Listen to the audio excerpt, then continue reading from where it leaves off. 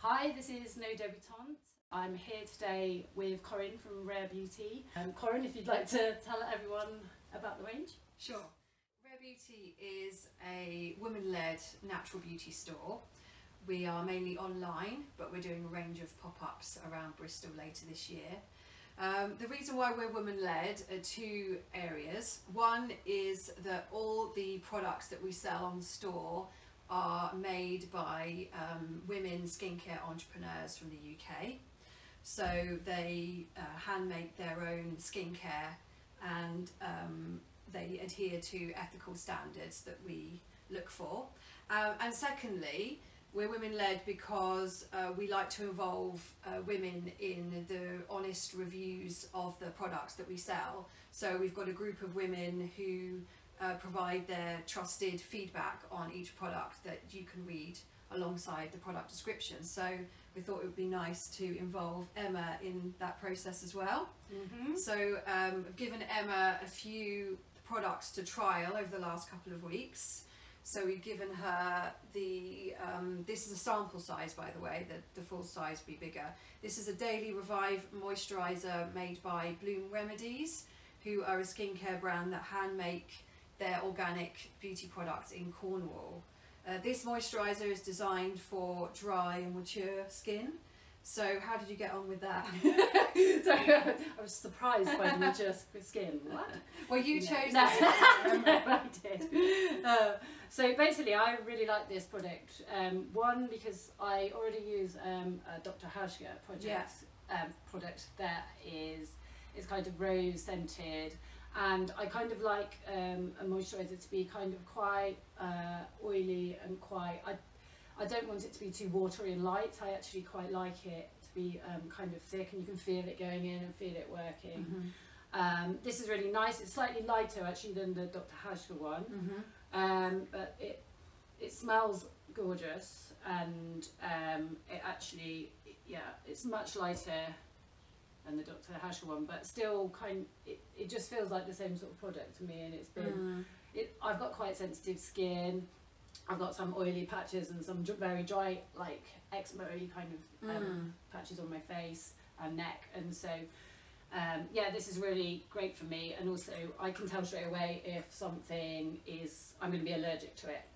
So um, yeah, really Okay. great, and going to use yeah. it every day. And there shouldn't be anything in, in that that would irritate you because all of the products that we stock are uh, made with mm, predominantly plant-based ingredients. So um, butters, oils, as close to the sort of natural source Yeah. that you can find. So you shouldn't find that you have a, a reaction to to any of the products. But um, that sounds like a good one for summer if it was a bit lighter for you. Yeah, Yeah. yeah, definitely. Okay. I mean, it's great, and I, I can smell it on my face Yeah. when I put it on and Yeah. stuff. So that's really nice. Well, Marie, the founder of Bloom Remedies, she's actually a qualified aromatherapist, so she brings that Mm. knowledge into her skincare, and Yeah. that's what I like about all the the skincare brands that we represent. Is um, each woman have got their own uh, skill and expertise and knowledge that they bring to their brands and their own passion.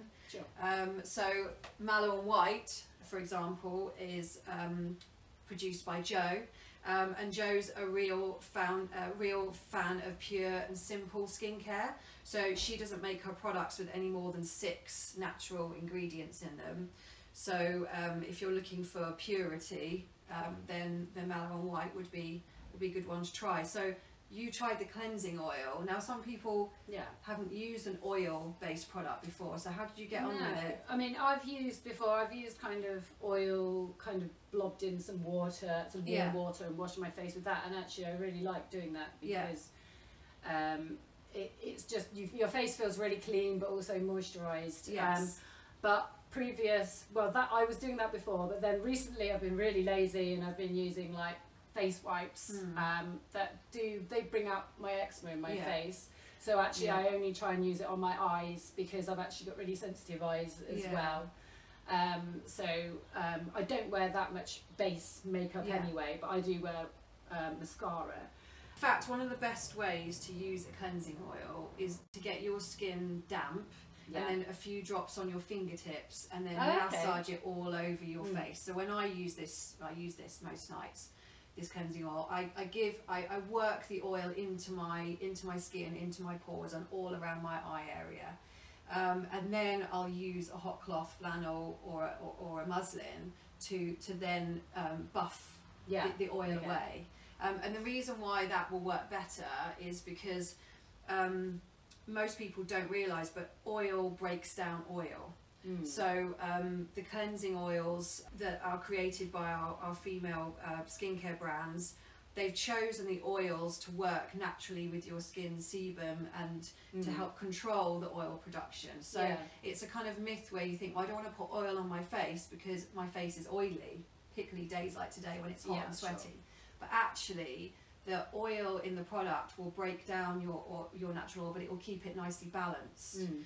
So um, next time you use it tonight, really try and give yourself a bit of a mini facial, Facial. Okay. while you're um, while you're using the product, um, and then you should find that um, it will help to rebalance the um, your dry patches as well. okay. Um, and you don't need to um, wash it off with a soap-based product afterwards. The idea is Oh, that no, you leave yeah. it um, leave it to sink in um, overnight as well. and I think the great thing about it is when you wake up in the morning, your face feels really soft. Yeah. Because I've heard before that you shouldn't maybe use that many products at night. I haven't been using for quite a few years um, any creams on my face before I go to bed Mm-hmm. because I've heard that um, the your natural oils work more at night. And but I've, I've found so I don't actually use anything, but I found if you use this before, then it's much better than just ramming loads of creams and stuff on your face. Because actually, when I was using those, it was Mm. making my face worse. Yeah. Um, yeah, in fact, one of the sort of skincare tips I was going to share with you today was was about what you do at night time. Mm. Um, and um, I'm a massive fan of using face oils overnight, not necessarily a cream Yeah. based Yeah, an product, oil. Yeah. but an oil because it works with your skin's Mm. um, natural um, oils, and what it will help to do. Um, is it will help to regenerate the skin overnight. So I've been noticing my skin's got very dry in this hot weather, or in the winter time it gets dry because Yeah. of the wind and the rain and things like that.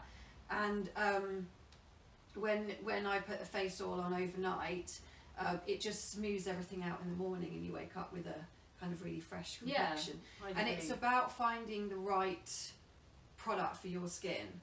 Um, and I think that's what we try and do on Rare Beauty with our product reviews. And we've got, you know, search functions so you can look at your own skin type Mm. and then choose the product that works. So Yeah. with face oils, it's about finding the, the, the right oil. Um, so if you've got a slightly oily, oilier complexion, you need a very light oil, a drier oil, uh, something like apricot, which is very light Mm. and um, and and still nourishing. Or if you've got quite dry skin, then you might be able to get away with a slightly heavier oil like macadamia nut, which is a Right. got a heavier consistency, but it's great for drier and maturer skin. So it's just about experimenting really and finding out what works for you. So Great. yeah, But yeah, I really, I really like this product and just the fact that I can kind of feel it on my face. Mm-hmm. But mm-hmm. It's not in a horrible way, you know, it's kind of Mm. like a natural way, like it's not, it just Mm. doesn't feel like it's thick with oil, it really just No. feels natural. yeah. I think it's a myth. Uh, I think until you've tried an oil-based product, um, you don't really know what it actually feels like. But it's much lighter and more nourishing than you'd expect. Mm. Most most good face oil products or cleansing oil products will will not leave a, a greasy residue it, maybe for a, minute or so just while it's sinking in Mm. and then it's doing its job Yeah. so um, Right, Great, I'm talking to okay. you, I'm just noticing you've got really nice skin. oh thank you yeah just from yeah. using the product. So yeah, I, I do. Yeah. I use all the pro- I use a lot of the products, and I'm just finding the ones that, that suit my my skin Yeah. type really. Sure. Um, but I have been using it a face oil um, over the last week uh, every night. Yeah. Um, and I've really noticed the difference in the morning of, of not just having having those um, dried out patches that you get in Sure. the summertime. So it is worth trying to find the correct beauty treatments Yes. for you, Yeah. and then in the end, in the long run, Yeah. And these products um, that we've got here, these three, um, four actually, they're, they're all um, sample size. So what we do have on the site are lots of um, sample size kits that you can actually um, Okay. try yeah, the products um, to see if they suit your skin before you invest in the full size. Sure. And I would say like things like this last ages. That will last you most of the summer. Yeah. Yeah. It will last me Yeah. ages, and I know it will. Yeah. Um, and this one is just lasting ages because it literally is just a couple of drops. And Yes. So, Yeah. Yeah. They're they're generous size um, samples. They're not teeny tiny. So Mm. um, we're we're just starting now to have customers coming back and buy the full size Yeah. product, sure. but they've they've had it for a good couple of months before they need to do that at least. So. Yeah, definitely. Corinne, you brought a few products with you today. I understand this is your bestseller. Yes, um, the the Nakin uh, brand is is our best selling brand. Um, they're a natural um, anti aging skincare brand, so they're pretty innovative.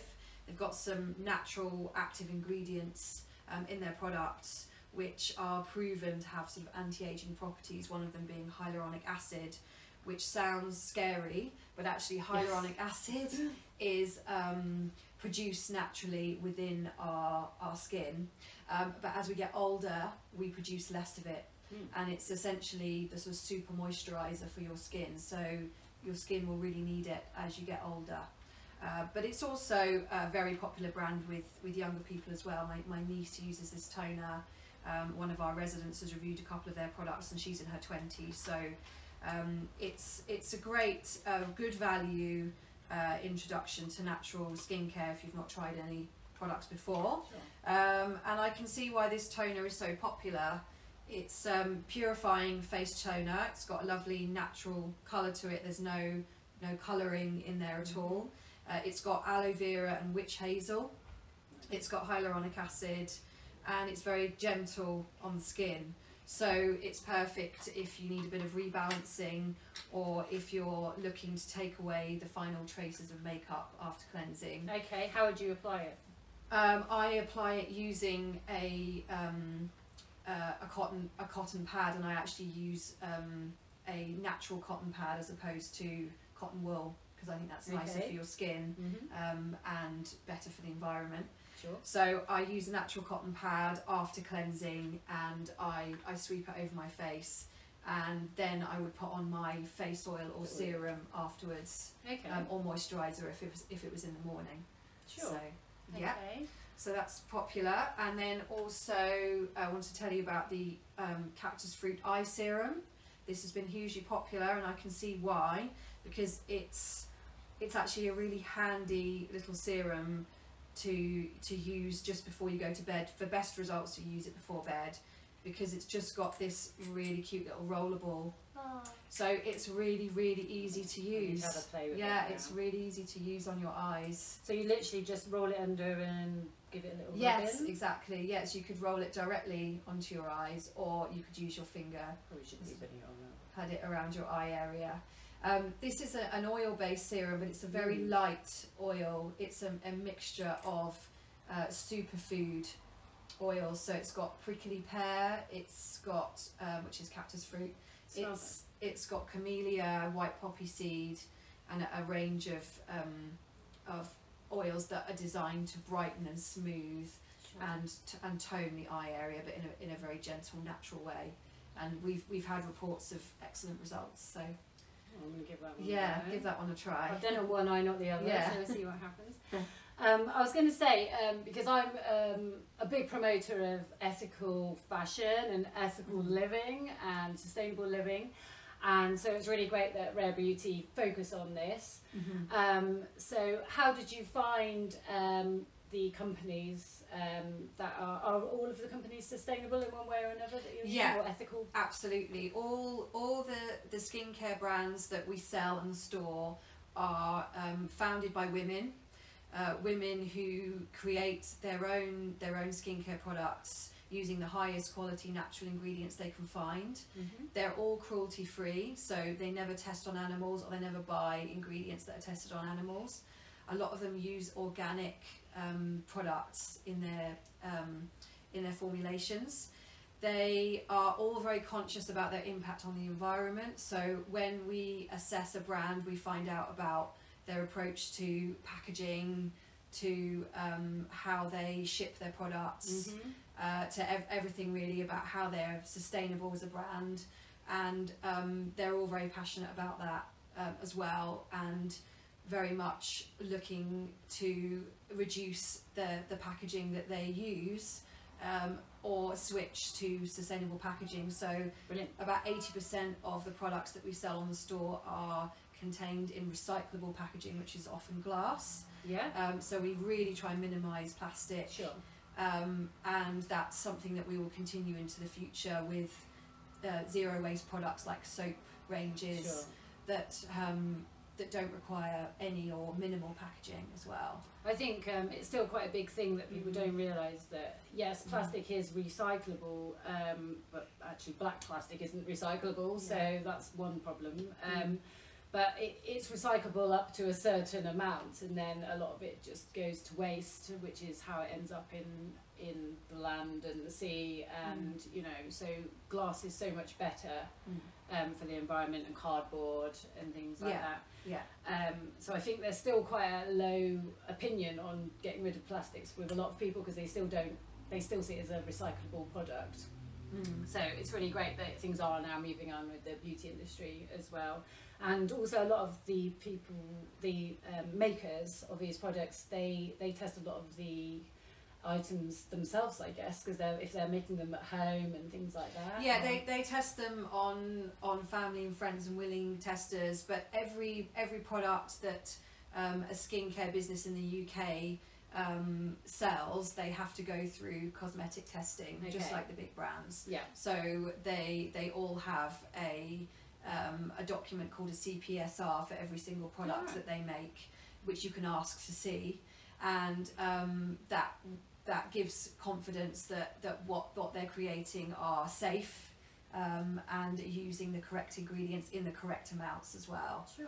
Um, and often, in my view anyway, a lot more thought, care, and attention has gone into these products than a lot of the products you find on the high street Sure. um, that are often created kind of several steps removed from the consumer Mm. um, and the top eight global beauty businesses in the world are are led by men, and their leadership teams are full of are full of men as well. And that is actually an issue in the beauty industry that you wouldn't realise. Yeah.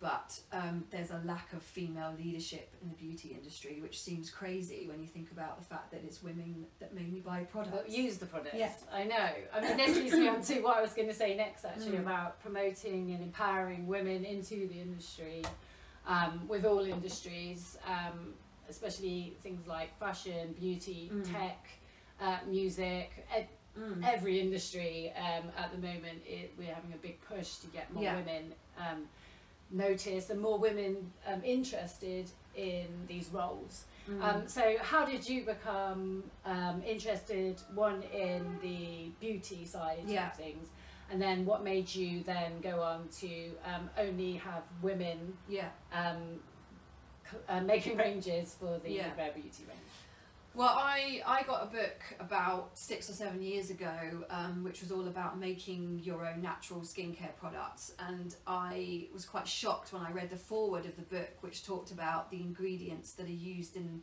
mainstream beauty products um, and how toxic they are and how laden with chemicals they are. And I felt quite duped actually, because Yeah. I was one of those people that was going to Boots and buying sure. the big big brands thinking that they were good for my skin when in fact Sure. they're the opposite. So i started making my own skincare products um, experimenting with with oils and butter blends and things like that making them for family and friends. Um, and everybody that i talked to about it and everyone that i shared the products with were, were real converts to to the to nat- more natural appro- approach to beauty. And then um, a couple of years ago i was in a sales and marketing role, and that's been um, my career really, my profession in sales and marketing. And I started to research into the natural beauty um, industry, which is uh, growing at a huge rate at the moment. It's um, it's really booming, and in fact, it's it's now competing on a level with with some of the larger skincare businesses in Wow. terms of um, how interested people are and how many people are switching their skincare from from the high street brands to the brands that we see here today. Um, and as I started to research all the skincare brands that were out there in the UK, I couldn't realise how, I couldn't believe how many beautiful products there were already that were for sale, the products that these women make. um, and others. And so it got me thinking about well, if I'm not finding them, then maybe other people aren't. Sure. So if I can create a platform, um, an umbrella brand, if you like, Rare Beauties, the kind of um, that the, you know the holding brand for these beautiful um, skincare businesses, then I'll be able to to get more customers to come and find um, and find the Yeah. skincare that's right for them, rather than having to go and find each business on an individual basis, which can be quite difficult Sure. um, on on the internet now. There's so much out there. I'd agree. I Yeah. mean, if I'm ever looking for a product, I would look on. I don't know too much about beauty products, but I know what I like when Mm. I find it. Um, and if you Google um, a beauty product, um, I wasn't. I would be honest. I wasn't necessarily um, looking for ethical products. It was just anything Mm. to help with skincare issues and mm. makeup and Mm. what's the best mascara to use and things like that. Um, and the first things that always come up are things like Cosmo's top ten Yeah. um, products, which Yeah. working in from in magazines and publishing like I have done for years, Mm. I know for a fact that all of those companies have paid to be Yeah. at the top of that list. Um, Yeah. so no one in Cosmo, well, they may have used it because they're getting it, probably getting a few samples for free, but they will just promote. It's not just Cosmo, but Yeah. you know, not just against Cosmopolitan or any magazine.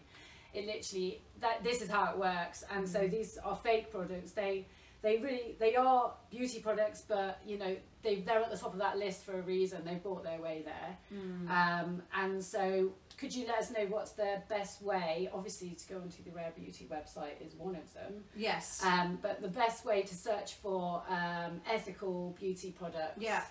In fact, I would I would recommend um, Facebook as a really excellent resource Hmm. because what you've got on Facebook is a range of um, communities.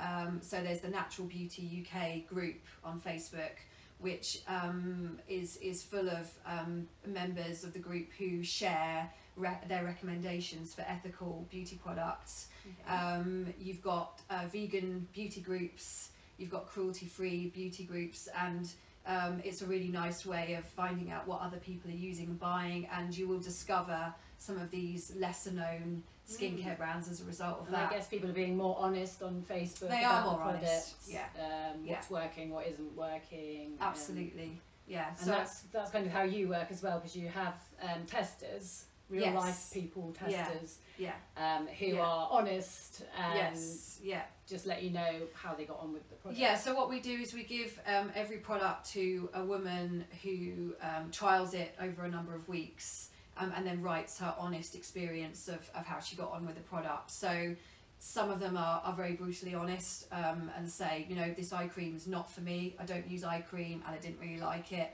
but I gave it to a friend who tried it and Mm. they and they actually said this about it.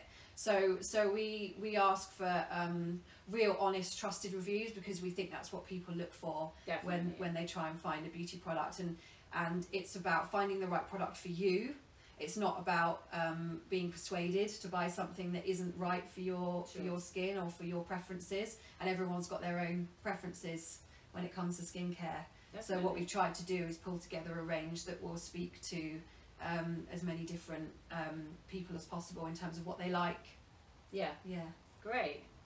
Um, okay, so um, it, we're in the middle of the summer as we're filming this, but we are, autumn is approaching. Yes. Well, not so quickly, but Yeah. you know. Um, so what's gonna ha- what's new with uh, Rare Beauty um, in the autumn months? So in the autumn, we've got some exciting things happening. We are going to be uh, launching a, a skincare guide, uh, which is all about um, winter and seasonal skin and how to manage it over the over the winter months because our skin takes tends to take a bit of a battering when that weather changes. So we're going to be doing that. You'll be able to download that from our website for free or get a paper copy. Um, we are also going to be doing some beauty boxes. So these will be perfect for uh, for gifts, but also for yourself. If you want to try a range of, of our products, we'll be having um, different themed boxes. So I'm thinking Okay. about you know a vegan one, um, a um, a kind of eco luxe one, um, uh, a face care a face care Mm, yeah, box, sure. a body care box. So um, a, a box that you can buy and and try a and of different- everything's in there that you need for your your beauty. Um, Yes, Uh, what do we call it? your beauty Regime, routine yeah. regime. Yes. yeah, and would make a lovely gift. So we're going to be doing those. Um, we are going to be doing some pop ups over the autumn um, in collaboration with a few shops in Bristol Yep. that also champion um, artisan um, artisan clothes or, or um, uh, artist makers, one of them being Casper in Southville. Yeah, lots of exciting things happening over the autumn time. Excellent. Okay. Well, thanks for joining me today, Corinne. Um, we, we will have to do this again and test some more products. That'd be great, And, yeah. Um, but in the meantime, if you um, look up Rare Beauty, the website is is um, rare-beauty.co.uk um, at Rare Beauty Co for any of our social feeds. excellent. And also look out for the pop-ups Yeah. and also these beauty boxes, which I'm intrigued by. Mm. I do kind of like being told what to do Mm. when it comes to Mm. beauty. It's like, Yeah, what am I doing? Okay, I'm doing this. Right, Yeah. I've got it. Because Yeah. I, find that my my life is pretty hectic. I've got three children, Mm. lots going on. yeah. I think Um, they'll go down very well. yeah, so that sort of thing I find really helpful. Yeah. so I should look forward to using one of those. Okay. Okay, thanks for coming. Thanks, Corinne. Emma. Thanks. Bye. Bye.